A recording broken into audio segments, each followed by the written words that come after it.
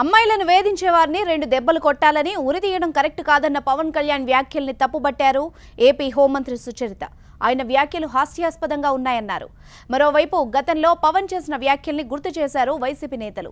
తన వాళ్ళైతే చంపేయాలని అనుకున్న పవన్ ఇప్పుడు మాత్రం ఇలా మాట్లాడడం ఏంటని నిలదీశారు ఎమ్మెల్యే శ్రీనివాసులు.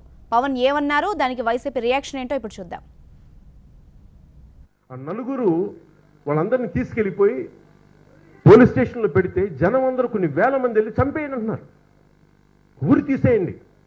అలాగే ఒకసారి ఒక రేప్ కేసులో ఒక ఢిల్లీ సుప్రీంకోర్టు ఒక హైకోర్టు అని నాకు సరిగ్గా గుర్తులేదు. ఢిల్లీ స్థాయిలో ఒక జడ్జి అన్న మాటలు. వాళ్ళ మగవాళ్ళ మర్మాంగాలను కోసేయండి అని.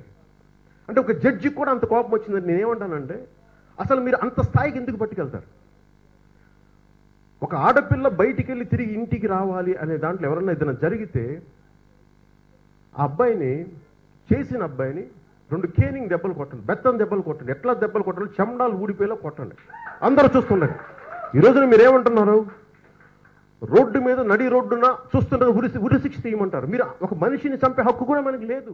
మహిళలకి ఎవరైతే మహిళ మీద లైంగిక దాడి చేస్తారో వారిని బహిరంగంగా ఉరి తీయడం అదేవిధంగా జీవిత ఖైదు విధించడం ఇలా రకరకాలైనటువంటి కఠిన శిక్షలు ఉన్నాయి అలాంటి కఠిన శిక్షలు ఉన్న చోటే నేరాలు జరుగుతూ ఉంటే కేవలం రెండు దెబ్బలేసి వదిలేస్తే నేరాలు కంట్రోల్ అవుతాయా?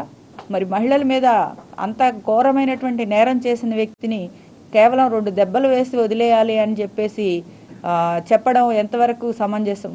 మరి చట్టాలను గౌరవించే వాళ్ళైతే చట్ట ప్రకారం శిక్షించాలి త్వరితగతిన శిక్ష వేయాలి అని అడగాలి. అలాంటిది ప్రజలకు అప్పచెప్తే ప్రజలు రెండు దెబ్బలు వేసి వదిలేయాలి అని చెప్పడం అన్నది చాలా హాస్యాస్పదంగా అనిపిస్తుంది. ఇది అవగాహన రాహిత్యమైనటువంటి స్టేట్మెంట్గా భావిస్తా ఉన్నాం. ఫస్ట్ ఇయర్ చదువుతున్నాను సెకండ్ ఇయర్ చదువుతున్నావు అక్కని ఇలా తీసుకెళ్ళిపోతే ఒక్కటి మాట్లాడలేంటన్నా. నాకు ఆ రోజు చాలా బలమైన భావన కలిగి ఎవ్వరికీ తెలియకుండా వంటగదిలో ఉన్న కత్తి తీసుకెళ్ళి ఆ రౌడీని చంపేద్దాం తన దగ్గరకు వచ్చేతలకే తన అక్క తన చెల్లో ఏదో అంటారు ఆయన అంటాడు ఒకసారి అక్క అంటాడు చెల్లి అంటాడు.